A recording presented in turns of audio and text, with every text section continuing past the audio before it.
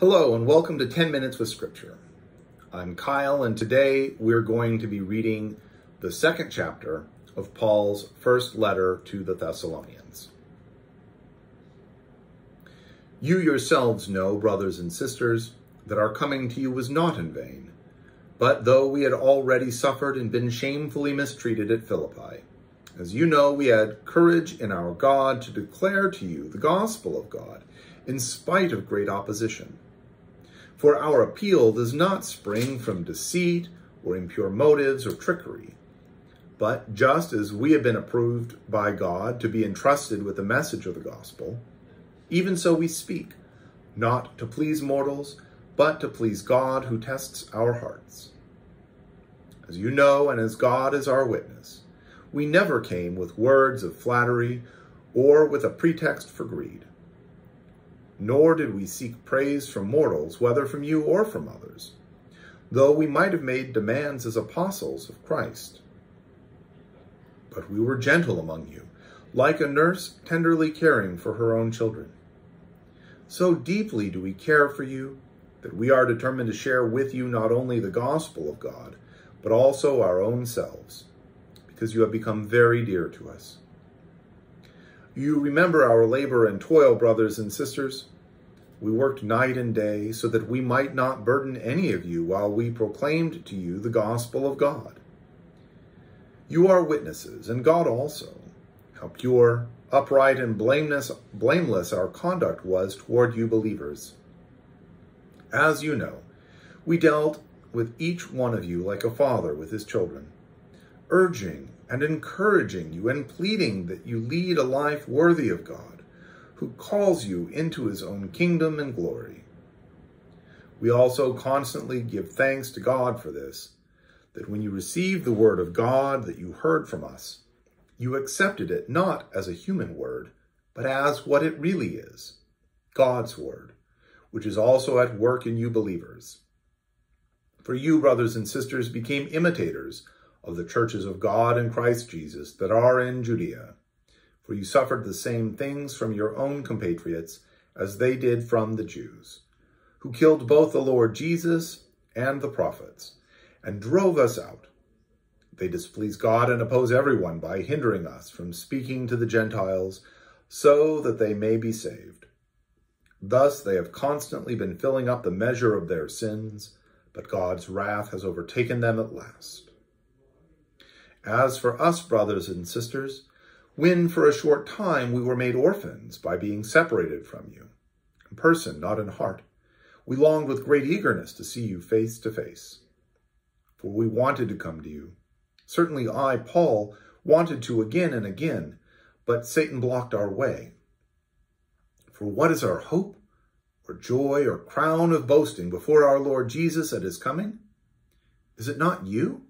Yes, you are our glory and joy.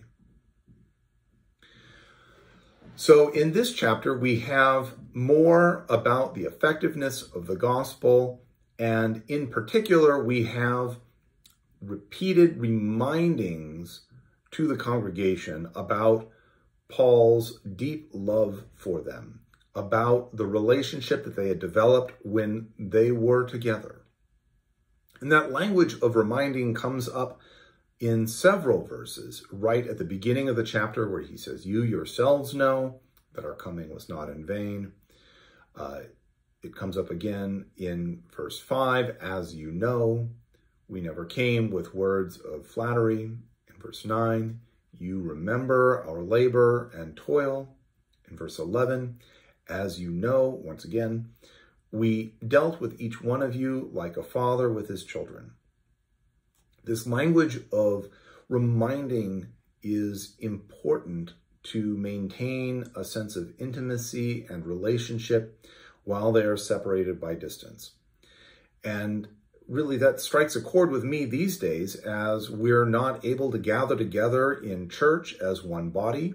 I'm not able to go and make the hospital visits that I would like to or see people in their homes.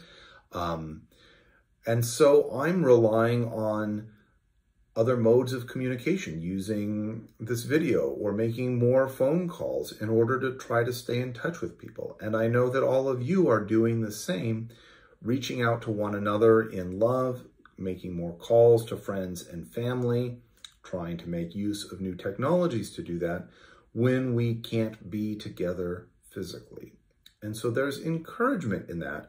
This is not the first time that people have been separated from their loved ones and that we can find ways to love and strengthen and encourage one another even as we are separated by distance.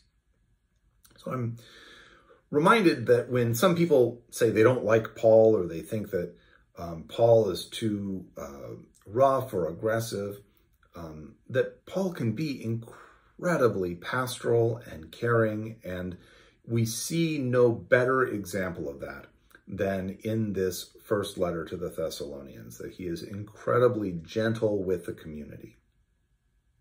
But there is something that stands out as a little bit out of place and character with the rest of the letter, and that's these verses 14 through 16, um, where there's very harsh criticism of the Jewish community um, for the execution of Jesus, for persecution of the prophets and for the hardship that Paul and his companions personally endured um, in their missionary work and in their travels.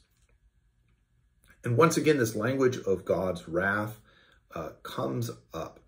Um, the same thing that we heard in verse 10 in the first chapter, that this has some eschatological tones to it, some that is some um, reference to the end times, um, that people were expecting when Jesus came back again. Uh, and again, this community was expecting that to be happening soon. Uh, Paul probably didn't have any particular punishment or um, scenario in mind when he's making this reference here, although there are um, some scholars who have historically um, thought that this might be a reference to the expulsion of the Jews from Rome in 49. There was also a massacre um, at the temple in the same year, um, or when this letter has occasionally been given a much later dating, um, possibly seen as either predicting or referring to um, the fall of the temple and the sacking of Jerusalem in 70 AD. Again, Paul probably isn't referencing that in this letter or having that in mind, but is using that eschatological language, is using that end time language um, that we need Jesus to be saved from because that is what the community is expecting. It's what their faith has been placed in and how they were formed as early Christians. But then, just a few verses later, um, we're going to move away from this more negative imagery um, and the sort of anti-Jewish polemic that is in these few verses to return to a message of hope and joy. Paul is saying that I desperately wanted to be back with you again.